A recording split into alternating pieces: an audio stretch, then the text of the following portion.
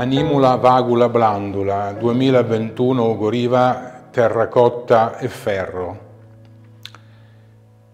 L'imperatore Adriano compone questa straordinaria poesia in punto di morte e la dedica alla sua anima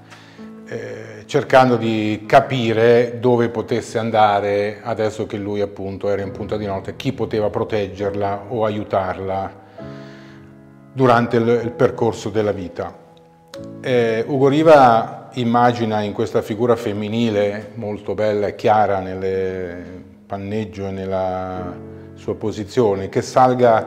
le scale della vita portando con sé appunto questa anima candida e queste scale della vita arriveranno poi eh, ad un certo punto in cui si ha il eh, buco nero, cioè il nostro corpo rimarrà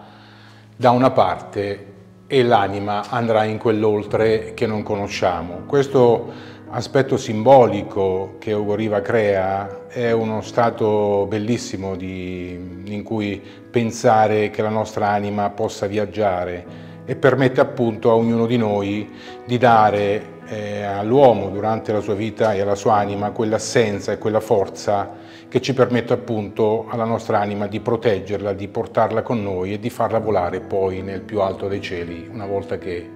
il nostro corpo non ci sarà più. Ed è una reminiscenza che dobbiamo avere questa non come deterrente ma come stimolo appunto per comportarci eticamente e guardare sempre il futuro con speranza e con possibilità di